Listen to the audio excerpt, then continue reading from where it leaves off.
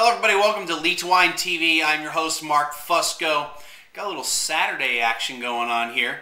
Um, we're gonna have a little pasta, and uh, since uh, I kind of want to drink a little wine tonight, uh, and this is all the wine we got right now in the house is wine for the show. I'm gonna do a little show today before we uh, before we eat in a little bit. So, uh, had some sauce being made, smelling up the house really good. Got a little sausage, and uh, so I figured we'd pair that up a little bit. But here's what we got. We got the uh, Cecchi uh, Chianti Classico, and uh, this is the 2006. Um, it's we got that at HEB, regular HEB for ten dollars eighty seven cents. Um, so yeah, let's uh, let's go ahead and check it out.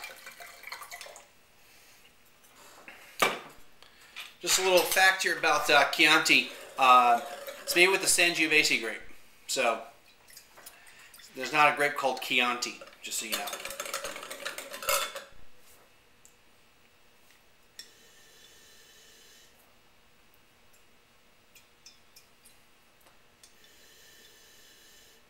Okay, so I'm getting some floral, some floral things here. Uh, kind of good. Then we get some fruit. I would say some some dark red fruit. Not too sweet. Nice little balance there. A little bit of earth. A little bit of earthiness, but nothing like nothing like really stinky. Not like you you know you get from some uh, Pinot Noir from Burgundy. But yeah. Let's see how it tastes.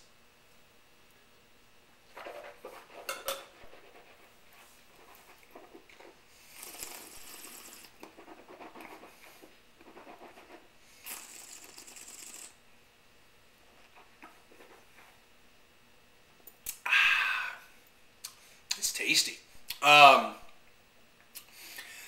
it's it's not heavy on the tannins, so that's that's good.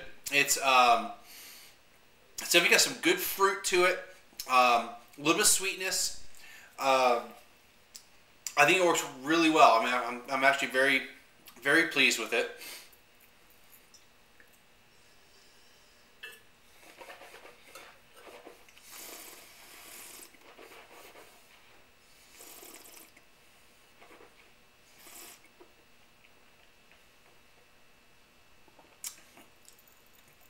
I get I do go, get a little bit of earthiness too, but it's not really overpowering.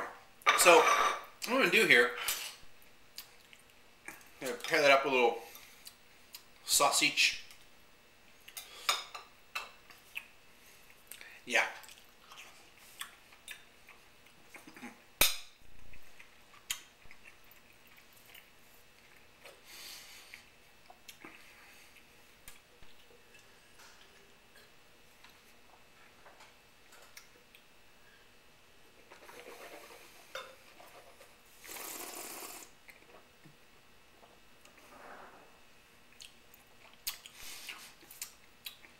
Excellent. It's not a spicy sausage that we got today, um, and now it's really the wine is really like interacting with the sausage really well. You've got um, uh, like this barbecue type barbecue type sensation.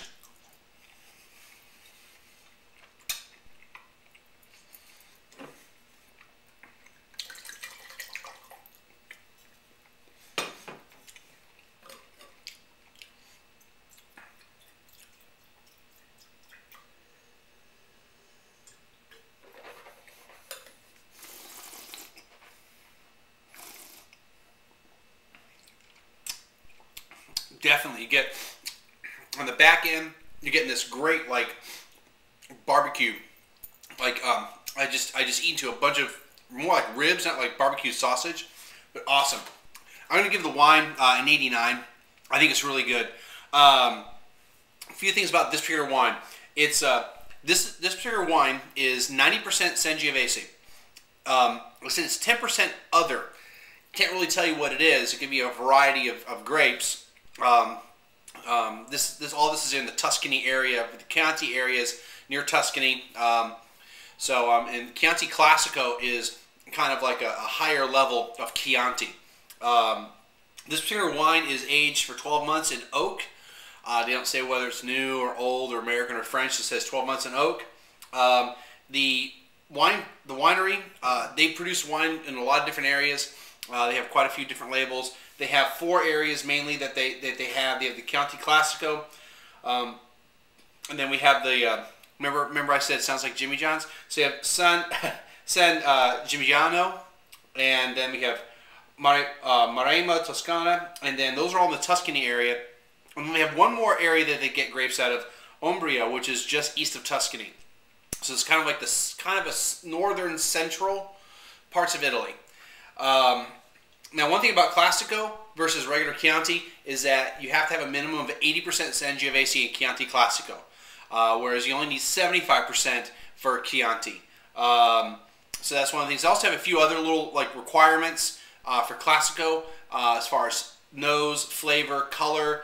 Um, even, even like has to have a minimum alcohol. The alcohol in this I think is 13% It has to have a minimum, I think, of 12% or 12%. Uh, then for the reserve, for the reserva, which is like another step higher, 12.5%, uh, they can't have a high, they can't have a certain amount of, you know, the, the, the acidity, a bunch of little, a bunch of uh, requirements on it. So uh, definitely really good, and uh, it's going to go great with dinner tonight. A little bread here.